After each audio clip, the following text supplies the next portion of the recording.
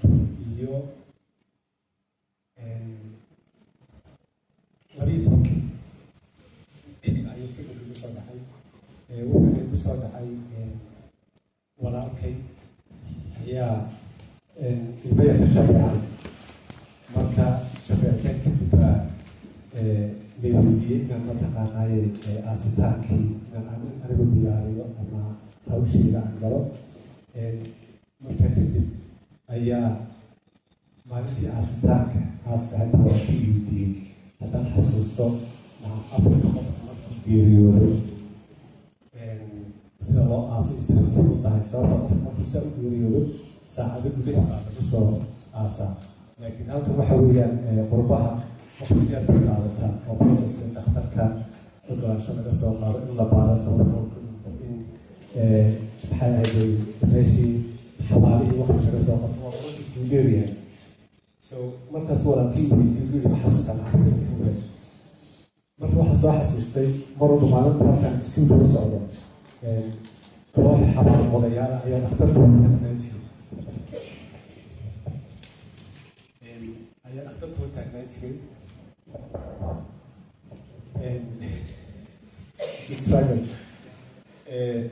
isla markaana diyaar u ay u soo aasaan? Marka shilinkooda ku xidhnaa in uu qof dhinto u soo aasaan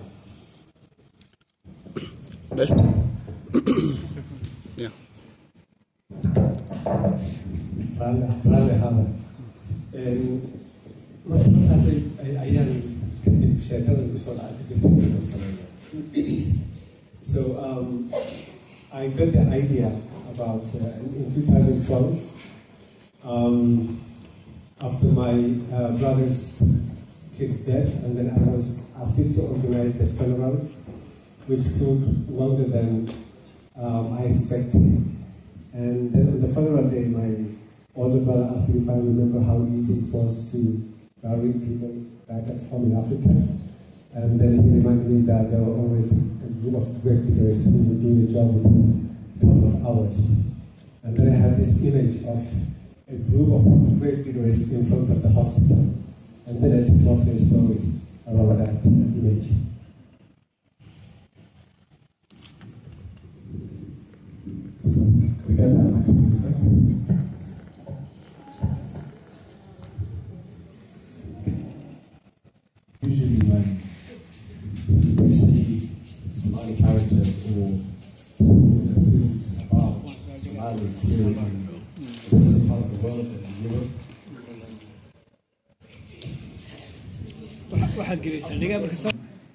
We hear about Somali stories here in uh, the western part of the world.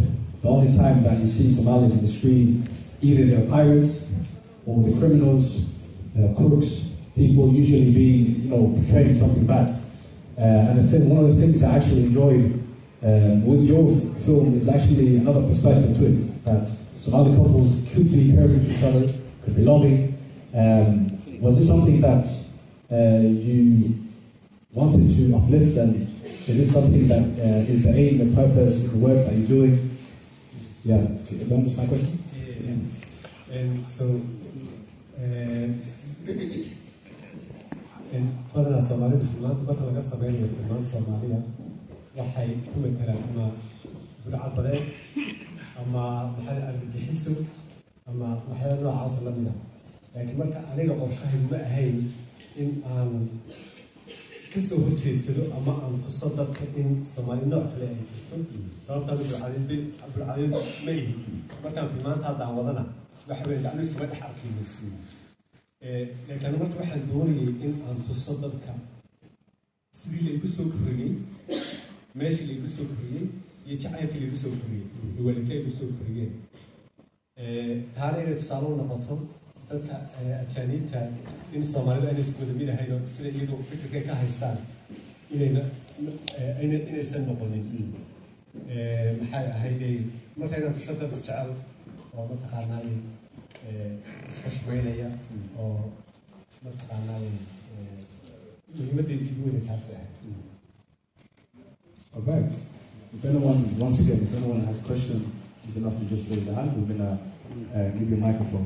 So, aad iyo aad baad mahadsantahay waa axmed maxamed yuusuf.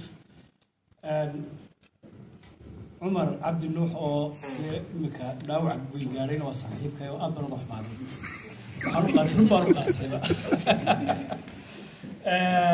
waayo cumar wuxuu degay isaga laftiis waa reer finland. Isku waxay ahaayeen isku reer finland. Heesta ugu dambeysay oo qiira leh runtii أيام مليه هذا واحد زي مرا واحد مغربي مثل واحد فهمين محيم عليه وها ما أفكر أيها هاي كلها في سومالي مرا ما يهين ردتها نو يرا So the question was, um, um, this the song in, in the end, if it was Somalia or not, and has to have Somalia. Yeah? Soomaalidaas waa Soomaaliga jijiga lagaga hadla weeyaan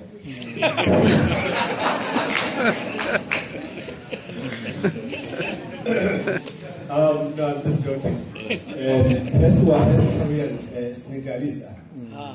Marka filimka markaan sameynayna waxa weeyaan waxaan doonaya hees qayrale oo mataqaanaa si fiican firfirdameed ku soo fadhiisata waxaanse haddii heesta yarta raadiya aad saarto iska keenayso sababta meeshan waa meel qayrale heestana waa heesta ku ciyaarana kaasi wuxa marka isma keenayaan marka hees waxaan waayay soomaaliya oo eh, qayrale oo meesha ku habboon marka taas ay how can you?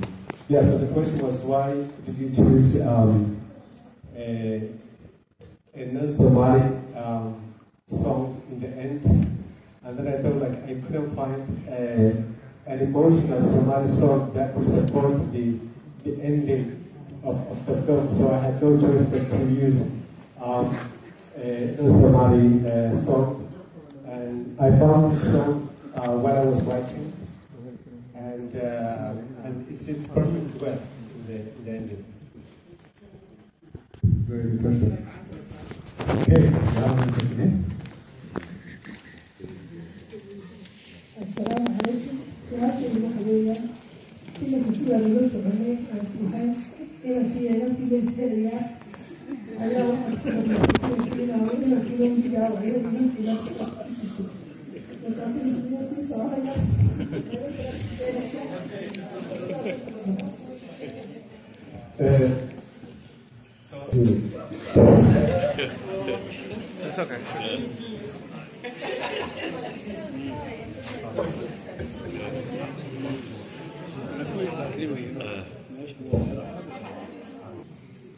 was um, the ending of the film is open, so is there a sequel to the film?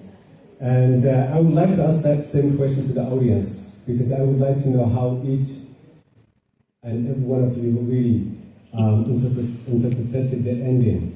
qof walba inaan ogaado fikir ful ending ninku uu uu ismaalgaraynayay kiyar aabihii daba ordayay xaaskina way badbaaday so in aqalka lihingeeyo la nafso mooyaane waxa weye laakiin waxaan doonaya dadka ina iyagu qof walba oo siduu doonay u turjunto maxaa helay inta dadka badana qof walba noloshiisa mataqaanaa qaabka u wato si u dhow ayuu qof walba yeah so i left the ending for interpretation for everyone um, to understand through their own life you know perspectives and um, and see how they want to see it i didn't want to have that happy hollywood ending closure where you know the whole family comes together and it's a happy ending and you know you go and you're like okay where should we go eat you never discuss about the ending you know but now when you go when you leave the, uh, the cinema, you discuss about how why, why why did it end that way? You know, how did you see it? You know, so I wanted to also create that discussion for everyone to to have their own understanding. Yeah, basically. Okay, can we get some questions from the back? marka horeysa in maalgelin la helo taasoo waqti qaadata iyo maxay ahayday iyo kala kulmayso midna waa mid markii la sameynayay aad guri badan soo timaadaan caqabadaha la kulmaysaan iyo mataqaanaa waxyaalaha ka hormartay dhibaatooyinkeedii marka aad bay u badnaayeen marka marka reebada ka soo qabto laakiin mid inuu tusaale hadda soo qabto waxa markii dadkii la sameeyay dad wada cadaan ay ahaayeen wada finish ay ahaayeen jabuutina waan ku sameynaynay jabuutina aad bay u kulay dadkii cadaan bay u wada xanuunsadeen oo shubali waxaa ka dhacay ka dhacay marka maxay ahayday marka qaarkood waxaan ku tegi jiray annagoo yar guruba yarkan ku jirnay film ku soo sameyn jiray. Dadkii kale dhan waxay hoteelka wada jiifeen oo wada xanuunsanayeen taas hadda feelkuna u sii u sii dheeraa. Marka aad u badan caqabadaha la kulanay laakiin tan waa mida wax weeyaan tusaalaha So the question was, what, what was um, some of the challenges that you faced during the production of the film? Uh, there were, we had so many, you know, um, uh, we faced so many challenges during making the film, but you know, the the simplest one that I can remember was uh, during the production in in Djibouti, where you know the, the entire crew were from Finland, all white people, and you know they, they all got sick with diarrhea and you know you know uh, stuff like that. So sometimes we would go on set with a very small group to really continue shooting the film because we couldn't afford to stop the production um, until everyone got you know better. So we had no choice but to keep moving. Uh, so, but there were so many challenges that we faced. Very good.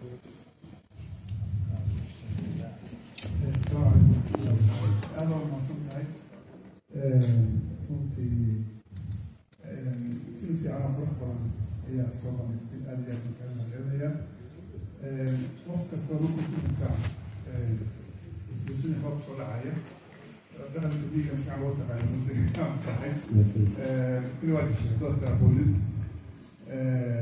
waxay u soo dhacay haddana waddanka ka imid marka yani filimka saasoo kale ku dhacday anigoo gaari saaran oo gaari wadana ayaa waxaa dhacday xilli fiidna way ahayd nin waxaan arkay soomaali aha oo dameer oo xaabo ku soo gurto yani xaabo aada u fara badan inka dadku iska dhadhaafaya marka dameerka marka xaabadii baa yani xooggiisa ka badan buu saaray dameerkii uu ugu dhacay ugu dhacay marka waxaan dhahay gaariga istaajiyey waa la istaajiyey gaariga markii la istaajiyey xaabadii baan la saaray waxaan ku dhex socota adiga toban kilomitr meesha laaba baxay maxaa goormada xaaban inaan soo gurto bilowday wuxuu yihi waxaan soo bilaabay saaka lixda subaxnimo suuqa markaad geysid meelaad iibsanaysaa lix boqol oo dolar ethoobiyaana lix boqol oo dolar ethoobiyaana qadar needow dhigankaa waa laba dolar dinan sa ka yarayso oo ka maqnaa maxaa kugu qasbay waxaa igu qasbay xaaska i xanuunsan buyi adiga dameerkii baan xaaladii ka tuurnay waxaan sii dhexday markaas meesha ku siiyey waxaan jeclaan lahaa inta hawsha ku jirto qof naxariis loo ku istaago oo xoogaa ama kaba ama kabteeni kabduma kugu noqotay oga oga oga waan fahmaya marka laakiin gafriganka laygu beeg marka runtii dhaqanka ka jira meesha oo dadkeena aha si fiican u soo matashay waxba yaan isu qarinin inta hadda qurbaha joogto ma naxariis ku hadhay inta xagga joogto naxariis ku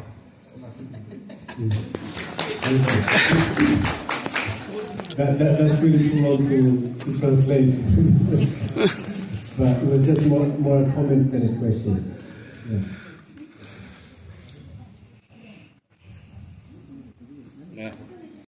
qofkii dumar arka ayay gabadha farfisnada akhtarka mataleysa ayaa ila socotay. Marka duma qof dumara markaan arko qofkaas iyadaa ordaysa ka daba tegaysa qofka istaajinaysa ila hadlaysay weydiinaysa inay film ka soo qayb gasho. Kadibna ku macsuumaynay. Raggana loo tiriyo istaajiyey marka dadka dhan waddada ka soo wada qaban iyo dukaanada iyo iyadoo ku tegayna markaan aan isku keenay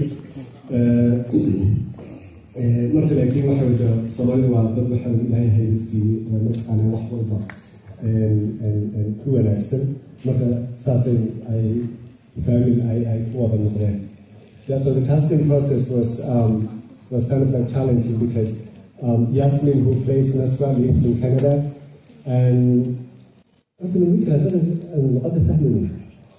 uh, yeah, uh, and and Omar lives in Finland, and Little Khaled lives in, in, in Djibouti.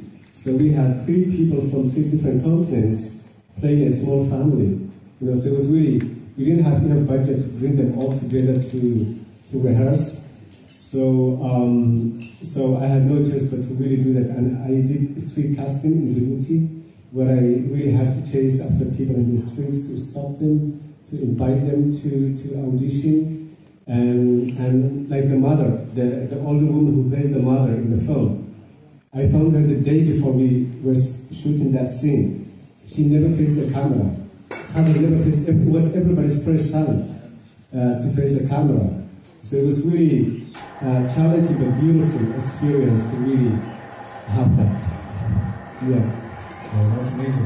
Um, and also, um, it's the first time I, I think I- this is the first time I hear this, this uh, because this, this movie was actually very captivating, but also very authentic at the same time.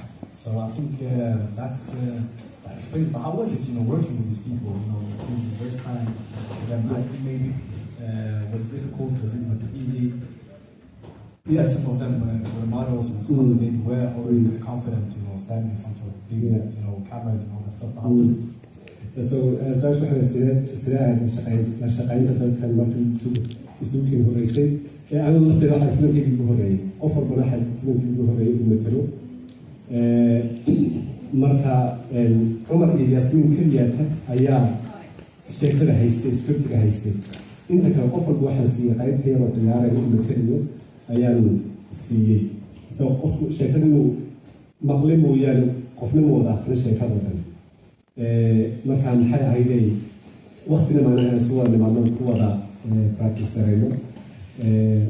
anaa qasab waxay ahayd inaan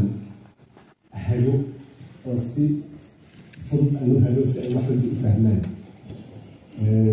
yeah, so um, so the, the, the, the process was really nice in a way because it was everybody's first film. And, um, and Omar and Yasmin, who played the two main characters, were the only ones who had the entire script. Everyone else had their own part. And Little Mahar, I never gave him a script because in Djibouti, everybody speaks Somali, but nobody reads and writes in Somali. Everybody reads and writes, reads, uh, reads and writes in French. And I found out this on the spot. And I was really shocked. You know? So I had no choice but to really improvise with the kids because I didn't want to give them the acting responsibility, you know. They- were kids, so I just wanted to have fun. So I would just explain to them like what's happening in the scene and what they were supposed to do, and they would just exceed my um, my expectations. They were incredibly easy and wonderful to work with. I really had a, a, very very good time working with all these first time actors because they were not acting. They were just I was just throw- throwing them the uh, situation. They would just do it. So it was really um, nice experience. There are some uh, more questions, I think. Two more questions. Two more questions. Yes. All right.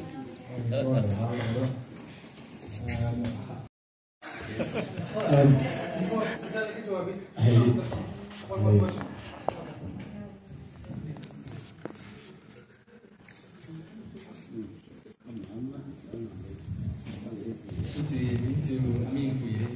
kale bacda sanaan waxaa rabaa inaan weydiiyo yani in yaroo no- noogu taabatid oo ah yani from idea to finished project. Intees yani bilood sano ugu qaadatay marka labaad filimka budgetkiisa. Intuu ahaa yani si aan u fahmno yani what you have to do but also the requirement of the money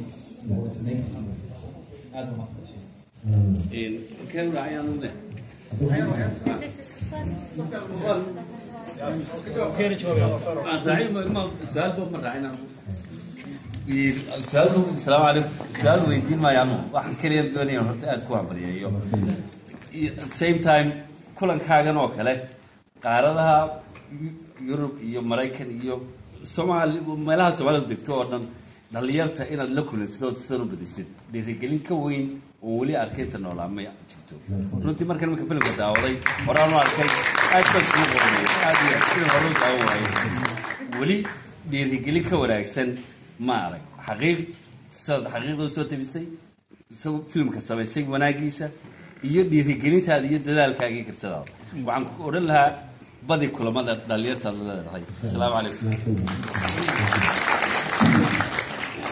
Yeah, so uh, the first question was, um, what are you doing next? hadhowna ku xiga Yeah. So um, I'm committed to telling Somali stories, and I will continue telling Somali stories. And yet my next film will also be in Somali with a Somali cast, inshallah. inshallah. And um, before I answer this, the second question, please, I just want to remind you all that there is a Somali film in Swedish cinemas called Amina. And I really want you to go watch that film while it's still in the cinemas. And we have the director Ahmed Abdullah here. Please, Ahmed, stand up. Please, please. Filimkana Soomaaliya filimooyinka yaalo oo aan la yidhaahdo Axmed Cabdullaahi uu sameeyey oo isaguna waxa weeyaan Soomaali ay matalayso gabar Soomaalida ay matalayso Soomaali Swedish lagu hadlayo fadlan taga soo daawada asxaabta kaxeeya waalidka kaxeeya ciidanka kaxeeya taageeritaankiina waa loo intaa keliya ku baa idinka inaad ku taageertaan haddii ilaahay nobody believes in you. So nobody gives you the money that you want to make the film. You know. So apart from that, we, we made the film within two years, from beginning to to end. And the budget of the film was really small, you know, compared to big budget films like one one and a half million euro. You know, it's the normal Finnish film standard, you know, budget. So yeah, that was may laakiin eh, adiga shakhsiyan intee sana kugu qaadatay inaad qortid sheekada Oh, you know, because um, I, I, I, I wrote the first qaybta u horreysay waxaan qoray labada kun iyo labiyo tobankii kadibna dhinac baan iska dhigay because anigaa doonaya inaan direct gareeyo marka maadaama uunan khibrad u lahayn sida filmaanta loo direct waxaan go'aansan inaan taa dhinac iska dhigo filmaanta gaaban aan sameeyo aan tababarto. Marka maalinta aan diyaar u noqdo in aan sameeyo. Marka waxaan qoritaanka bilaabay labada kun iyo labiyo tobankii dhinac baan iska dhigay. Labada kun iyo shan iyo tobankii waan ku soo noqday xoogaa baan qoray haddana waan dhigay haddana waxaan ku soo noqday marka sideed iyo tobankii baan ku soo noqday. Laakiin ma ahayn waqti si joogto intaas in aan wada sameynayay ee waxay waqtigan ka qaadanaysaan iyo nolosha kalabadaan aan u sii wado. So I wrote the first draft of the script in 2012 and then because I wanted to direct the film myself um, I wanted to I put it, I put the, the script on side to to make short films to gain more directing experience. And once I felt comfortable enough to direct, or you know, confidence enough, I gained confidence enough, and I started working on the film. And once you get the budget, then you know that's. But I did only two short films before I made this film. Yeah.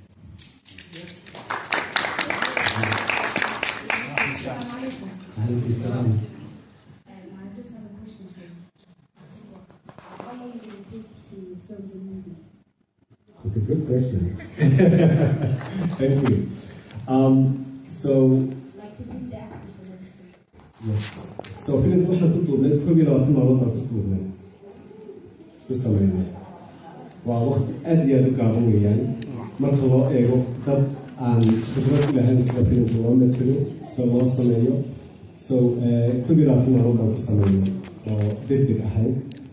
Laakiin alxamdulilah waan ku guuleysanay. Uh, so yeah, um, we shot the film in 21 days with non-trained actors. So it was really challenging, but uh, but beautiful experience. Yeah. My